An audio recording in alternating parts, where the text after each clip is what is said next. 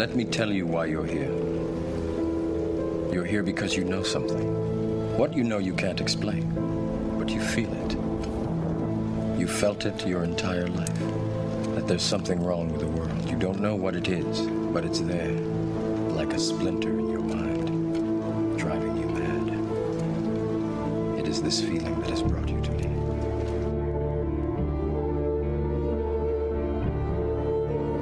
It is all around us. Even now, in this very room. You can see it when you look out your window or when you turn on your television.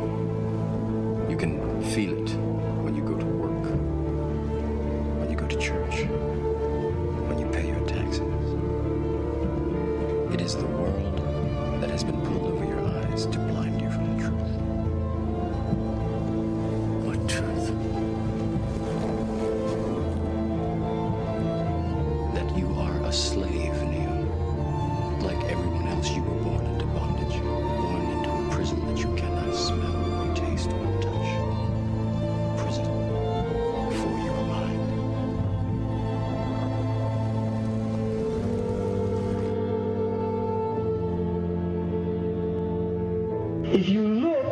At the root word, because Arabic has root words, and the root words have primal meanings which indicate where the semantic field is deriving its meaning from. The word dajjala was a word that the Arabs used when a camel had mange, when it was diseased, they would put pitch over it as a treatment.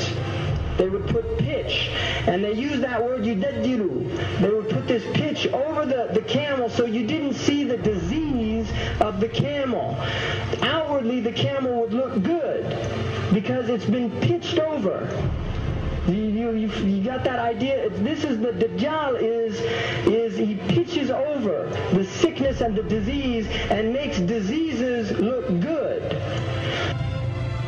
So the idea of, of the, the Dajjal is that the Dajjal will come and tell people in the same way that Isa a.s. told them that the next world is what you should work for, the Dajjal would tell them this world is what you should work for. In the same way that Isa a.s. told them that dunya is, is gharur, it's a delusion and it will delude you. The, the Dajjal will tell them the next world is a delusion. You see, like the beer commercial, you only live once, so get all the gusto you can. Right? That's a Budweiser. You only live once. You only go around once. So get all the gusto you can. This is the message of this age. It's a message of deep materialism. It is a message telling people they will be happy in, through buying things. Buy more and be happy. This is this is a slogan. Happy. Don't worry. Be happy. Right? The smiley face. And on the back of the dollar bill, there's a seal on this side. It's called the Great Seal of the United States. That's what it's called. It's their seal. Now, behind the seal, this is actually what is behind the Great Seal of the United States,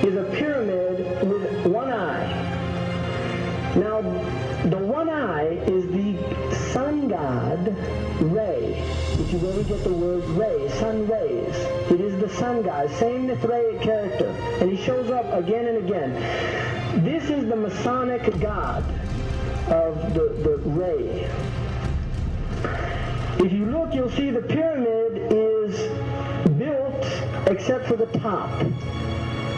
It's built except for the top. The eye is suspended above the top. It hasn't come down yet. Because they believe until they finished the Masonic project, which is the, the what they say on the bottom, Novus Ordo Seclorum, and then Annuit Coeptis, he is pleased with our project. In other words, the God they believe in is pleased with our project. What is the project? This is the question. What is the project that this God is pleased with? The project is literally the secularization of the world. To completely strip the world from religious beliefs. This is the project, and that is why it is called Novus Ordo Seclorum, a new secular or worldly order. If you translate that into Arabic, it would be a Nizam al-Alami ad-Dunyawi.